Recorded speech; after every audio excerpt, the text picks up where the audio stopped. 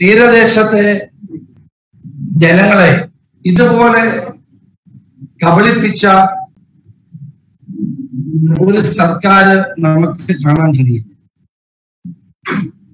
ആഴക്കടൽ കൊള്ളയ്ക്ക് E M C സിയുമായി മുഖ്യമന്ത്രിയുടെ നേരിട്ടുള്ള നിയന്ത്രണത്തിലുള്ള ഇൻലൻഡ് നാവിഗേഷൻ കോർപ്പറേഷൻ ധാരണാപത്രം ഒപ്പിട്ടത് ആശ്ചര്യകരമാണ് എന്നാണ് ഇന്നലെ മുഖ്യമന്ത്രി പറയുന്നത്. കള്ളം കൈയോടെ പിടിക്കപ്പെട്ടപ്പോഴാണ് മുഖ്യമന്ത്രിക്ക് ഇത് ആശ്ചര്യജനകമായി കാണാൻ കഴിയുന്നത്. അസമിൽ വെച്ച് കെ എസ് ഐ ഡി സിയുമായി അയ്യായിരം കോടി രൂപയുടെ ധാരണാപത്രം ഒപ്പിട്ടപ്പോഴും മുഖ്യമന്ത്രിയുമായി ക്ലിഫോഴ്സിൽ രണ്ട് തവണ ചർച്ച ചെയ്തപ്പോഴും ആശ്ചര്യം തോന്നാത്ത മുഖ്യമന്ത്രിക്ക് പ്രതിപക്ഷം ഇത് കൈയോടെ പിടിച്ചപ്പോൾ എങ്ങനെ ആശ്ചര്യമുണ്ടായി? എന്താശ്ചര്യമാണ് ഉണ്ടായത്?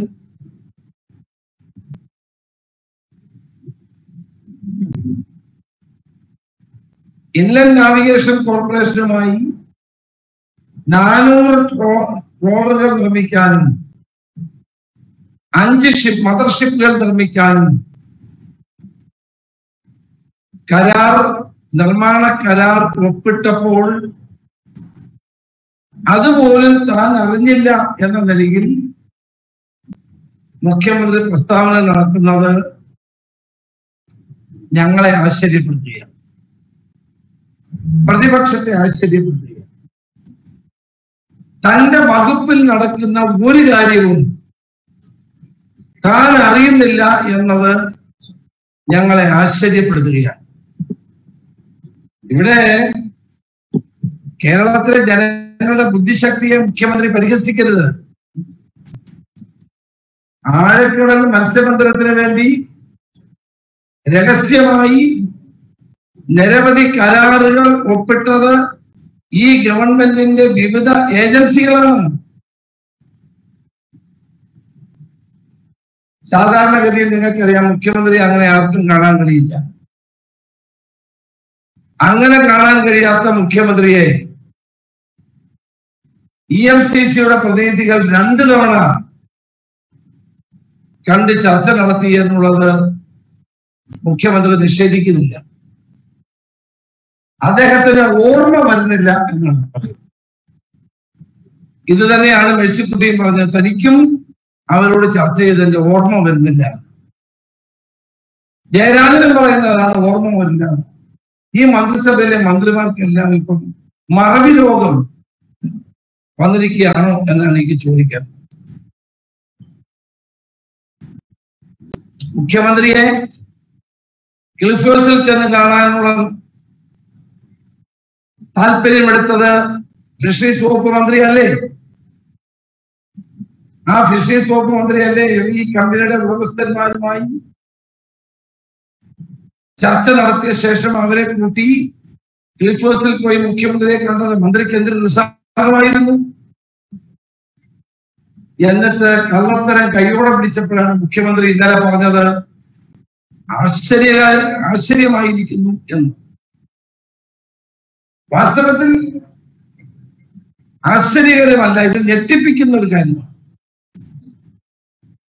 കേരളത്തിലെ മത്സ്യത്തൊഴിലാളികളെ വൈത്തടിക്കുന്ന ഈ നടപടി എല്ലാവരെയും ഞെട്ടിപ്പിക്കുന്ന ഒന്നാണ്. ഒരു ഭാഗത്ത് കേരളത്തിന്റെ സൈന്യമാണ് എന്ന് മത്സ്യത്തൊഴിലാളികളെ പറ്റി പറയുക അവർക്ക് ബിഗ് കൊടുക്കുക. മറുഭാഗത്ത് അവരെ പട്ടിണിയിലേക്കും ദാരിദ്ര്യത്തിലേക്കും നയിക്കുന്ന ക്രൂരമായ ഒരു നടപടി ഒരു അമേരിക്കൻ കമ്പനിയുമായി ചേർന്ന് നടപ്പാക്കാൻ ശ്രമിക്കുക. നിങ്ങൾ ആലോചിച്ച് നോക്കുക ഇത് ഞങ്ങൾ പ്രതിപക്ഷം പുറത്തു കൊണ്ടുവന്നില്ലായിരുന്നെങ്കിൽ ഇന്നലെ ഇലക്ഷൻ നോട്ടിഫിക്കേഷൻ വരുന്നതിന് മുമ്പുള്ള ക്യാബിനറ്റിൽ വെച്ച് എവര് ഇതിന് അംഗീകാരം കൊടുക്കുമായിരുന്നു. പ്രതിപക്ഷം ഇത് പുറത്തു കൊണ്ടുവന്നില്ലായിരുന്നെങ്കിൽ കേരളത്തിലെ മത്സ്യത്തൊഴിലാളികളുടെ ജീവൻ ജീവിതം വഴിയാധാരമാകുന്ന ഈ ഉടമ്പടികൾക്ക് സംസ്ഥാന ഗവൺമെന്റ് അനുവാദം കൊടുക്കുമായിരുന്നു. ഇപ്പൊ മുഖ്യമന്ത്രി പറയുന്നു ഇന്നലെ നാവിഗേഷൻ കോർപ്പറേഷനുമായി നടത്തിയ ഒപ്പിടിയിൽ ഒരു നാടകമായിരുന്നു. വാസ്തവത്തിൽ നാടകം കളിക്കുന്നത് കേരളത്തിലെ മുഖ്യമന്ത്രിയും മന്ത്രിമാരും.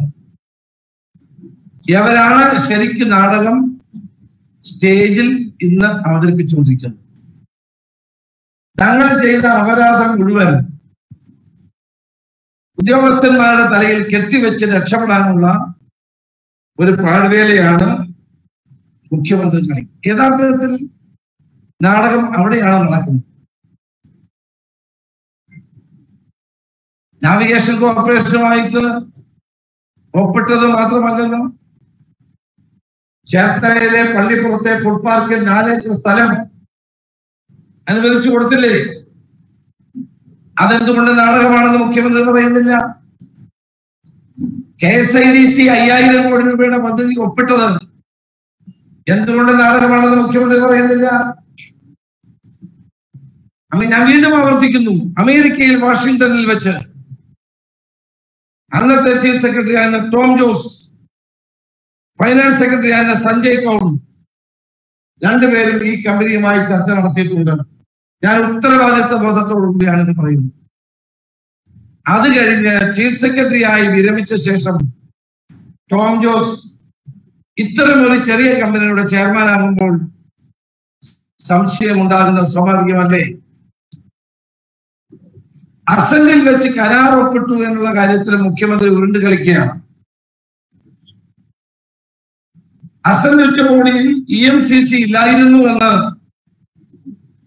ഇപ്പോഴാണ് അറിയുന്നത് എന്നാണ് മുഖ്യമന്ത്രി ഇന്നലെ തിരുവനന്തപുരത്ത് പറഞ്ഞത് നാണമല്ലേ മുഖ്യമന്ത്രിക്ക് ഇത് പറയാൻ?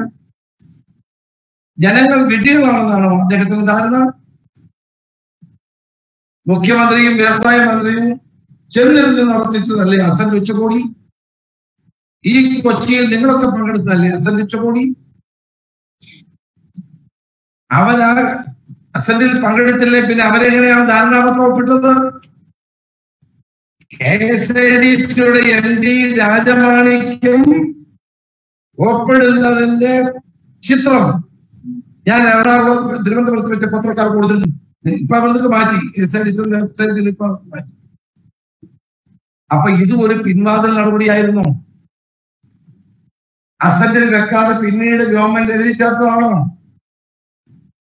നിയമനങ്ങൾക്ക് മാത്രമല്ല ധാരണാപത്രങ്ങൾക്കും ഇപ്പൊ പിൻവാതിലുണ്ടോ? നിയമസഭയിൽ വ്യവസായ മന്ത്രി ജയരാജൻ ആഴക്കടൽ ധാരണാപത്രം ഒപ്പിട്ടത് മറച്ചു വെച്ചു. ഈ കാര്യം ഞാൻ നേരത്തെ ചൂണ്ടിക്കാണിച്ചതാണ്. പന്ത്രണ്ട് രണ്ട് രണ്ടായിരത്തി ഇരുപതിൽ Mons Joseph P J Joseph C A Thomas. മൂന്ന് എം എൽ എമാരുടെ അസറ്റിനെ പറ്റിയുള്ള ചോദ്യത്തിന് മറുപടിയിൽ ജയരാജൻ ഈ ഇ എം സി സിയെ പറ്റി മിണ്ടുന്നില്ല. മൂന്ന് മൂന്ന് രണ്ടായിരത്തി ഇരുപതിൽ P K Basheer M L A നിയമസഭയിൽ ഇത് സംബന്ധിച്ച് ഒരു ചോദ്യം ചോദിച്ചു. അതിനകത്തും വ്യവസായ മന്ത്രി ഉത്തര പറഞ്ഞപ്പോൾ ഈ ഇ എം സി സിയുടെ കാര്യം മറച്ചു വെച്ചു അപ്പോൾ ഇതൊരു കള്ളപരിപാടി ആയതുകൊണ്ടാണ് ഇവർ ഈ രണ്ട് ചോദ്യങ്ങളും നിയമസഭ ഉത്തരം നൽകിയപ്പോൾ മറച്ചു വെച്ചത്. എല്ലാം രഹസ്യമായി മുന്നോട്ട് കൊണ്ടുപോകാനായത് ഇത് നമ്മൾ പുറത്തു കൊണ്ട് കൊണ്ടുവന്നില്ലായിരുന്നെങ്കിൽ രഹസ്യമായി മന്ത്രിസഭയിൽ വെച്ച് അതും പാസ്സാക്കി എടുക്കുമായി അപ്പോൾ ഒരു കാര്യം ഇതിൽ നിന്ന് വളരെ വ്യക്തമല്ലേ? ആഴക്കടൽ മത്സ്യബന്ധനം നടത്തി. വലിയ ഒരു കൊള്ള നടത്താൻ ഗവൺമെന്റും ഇ എം സി സിയും തമ്മിൽ ഗൂഢാലോചന നടത്തി എന്നുള്ളത് പോലെ വ്യക്തമാണ്. ഒന്നും മറക്കാനില്ലെങ്കിൽ ഗവൺമെന്റ് എന്തിനാണ് ഒരു ജുഡീഷ്യൽ അന്വേഷണത്തെ ഭയപ്പെടുന്നത്? അന്തസ്സുണ്ടെങ്കിൽ ധൈര്യമുണ്ടെങ്കിൽ മുഖ്യമന്ത്രി ഒരു ജുഡീഷ്യൽ അന്വേഷണം പ്രഖ്യാപിക്കണം.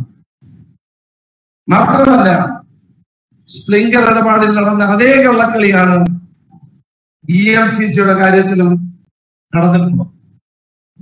മന്ത്രിസഭ അറിയാതെ മുന്നണി അറിയാതെ ആരോരും അറിയാതെ അമേരിക്കൻ കുത്തക കമ്പനികളുമായി വഴിവിട്ട ഇടപാടുകളാണ് ഈ സർക്കാർ നടത്തിയത്. അന്ന് ജനങ്ങളുടെ ആരോഗ്യ വിവരങ്ങൾ വിറ്റ് കാശാക്കാനാണെങ്കിൽ ഇന്ന് പാവപ്പെട്ട മത്സ്യത്തൊഴിലാളികളെ പട്ടിണിക്കിട്ട് മത്സ്യസമ്പത്ത് വിറ്റ് കാശാക്കാനാണ് ഈ ഗവൺമെന്റ് ശ്രമിച്ചത്. അതുകൊണ്ട് ഈ കാര്യത്തിൽ എത്ര കമ്മീഷൻ കിട്ടി എന്ന് മാത്രം ഇനി അറിഞ്ഞാൽ മതി. കമ്മീഷൻ എത്ര ആയിരുന്നു എന്ന് എന്ന് പറഞ്ഞാൽ മതി. ഞാൻ ഉന്നയിച്ച ഓരോ ആരോപണങ്ങളും സത്യമായതുകൊണ്ടല്ലേ ഓരോന്നും ഗവൺമെന്റ് ക്യാൻസൽ ചെയ്യേണ്ടി വന്നത്. ഇന്നത്തെ തീരദേശ കർത്താവിൽ പങ്കെടുത്ത മുഴുവൻ മത്സ്യത്തൊഴിലാളികളെ യു ഡി എഫ് അഭിവാദ്യം ചെയ്യുന്നു. ശക്തമായി തന്നെ ഈ ആവശ്യങ്ങൾ ഉന്നയിച്ചുകൊണ്ട് ഞങ്ങൾ മുന്നോട്ട് പോകും. മത്സ്യനയം മാറ്റണം. മന്ത്രി രാജിവെക്കണം. അതുപോലെ തന്നെ ജുഡീഷ്യൽ അന്വേഷണം പ്രഖ്യാപിക്കണം എന്നുള്ള ആവശ്യത്തിൽ യു ഡി എഫ് ഉറച്ചു നിൽക്കുകയാണ്. അതുപോലെ തന്നെ ഒരു കാര്യം കൂടി പറയാം. വിദേശ രാജ്യങ്ങളിൽ നിന്ന് മടങ്ങിയെത്തുന്ന പ്രവാസികൾക്ക് പ്രത്യേകിച്ച് ഗൾഫ് നാടുകളിൽ നിന്ന് മടങ്ങി വരുന്നത് എഴുപത്തിരണ്ട് മണിക്കൂറിനകം എടുത്ത R T P C negative certificate നിർബന്ധമാക്കി. വിദേശത്തു നിന്ന് ഇതെടുത്ത ശേഷം നാട്ടിലെത്തുമ്പോൾ വിമാനത്താവളത്തിൽ വീണ്ടും ടെസ്റ്റ് നടത്തണം. അത് സൗജന്യമാക്കണമെന്ന് ഞാൻ ആവശ്യപ്പെട്ടുകൊണ്ട് ഇന്നലെ ആരോഗ്യമന്ത്രിക്ക് കത്ത് നൽകി അത് സൗജന്യമാക്കുന്നത് നല്ലതാണ്. എന്നാൽ ഗൾഫ് നാടുകളിൽ നിന്ന് ടെസ്റ്റ് കഴിഞ്ഞ് കോവിഡ് ഇല്ല എന്ന് ഉറപ്പാക്കി എത്തുന്നവർക്ക് വീണ്ടും ക്വാറന്റൈനിൽ പോകണമെന്ന നിബന്ധന അവർ ഒഴിവാക്കണമെന്നുള്ള ആവശ്യം ഗൾഫിലെ മലയാളി സംഘടനകൾ ആവശ്യപ്പെട്ടു. രോഗമില്ല എന്ന് ഉറപ്പാക്കിയിട്ടാണ് അവർ ഇങ്ങോട്ട് വരുന്നത്. പിന്നെയും അവരെ ക്വാറന്റൈനിലേക്ക് അയക്കുന്നത് ശരിയല്ല എന്നുള്ളതാണ് അവരുടെ വാദം. അത് ശരിയാണ്. ഗവൺമെന്റ് അത് ഗൗരവമായി പരിഗണിക്കണം എന്ന് ഞാൻ അഭ്യർത്ഥിക്കുന്നു. അതുപോലെ തന്നെ നമ്മുടെ ചെറുപ്പക്കാരെ സമരം ചെയ്യാൻ അവർ പിൻവാതിൽ നിയമനങ്ങൾ അവസാനിപ്പിക്കണം. റാങ്ക് ലിസ്റ്റിൽ പേര് വന്നവർക്ക് ജോലി കിട്ടണം. അവരോടുള്ള അവഗണന അവസാനിപ്പിക്കണമെന്ന് ആവശ്യപ്പെട്ടുകൊണ്ടാണ് സമരം. യൂത്ത് കോൺഗ്രസ് പ്രസിഡന്റ് ഷാഫി പറമ്പിലും വൈസ് പ്രസിഡന്റ് ശബരിനാഥനും സമരം ചെയ്തു ആരോഗ്യ കാരണങ്ങളാൽ അവരെ ആശുപത്രിയിലേക്ക് പ്രവേശിച്ചു അത് കഴിഞ്ഞിട്ടാണ് റിജിൽ മാക്കുറ്റിയും നുസൂറും അറിയാസ് മുക്കോളിയും മൂന്ന് പേർ ഇപ്പോൾ സമരത്തിലാണ് ഇന്നലെ തെരഞ്ഞെടുപ്പ് കമ്മീഷന്റെ നോട്ടിഫിക്കേഷൻ വരുന്നത് വരെ ചർച്ചയ്ക്ക് ഉണ്ടായിരുന്നു അതൊന്നും ചർച്ച ചെയ്യാതെ ഞായറാഴ്ച പാർലമെന്ററി കാര്യമന്ത്രി ചർച്ചയ്ക്ക് വിളിച്ചത് ഒരു പ്രശ്നം. പ്രശ്നം തീർക്കാനല്ല.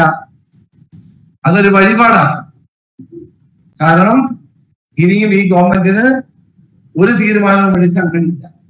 തെരഞ്ഞെടുപ്പ് കമ്മീഷന്റെ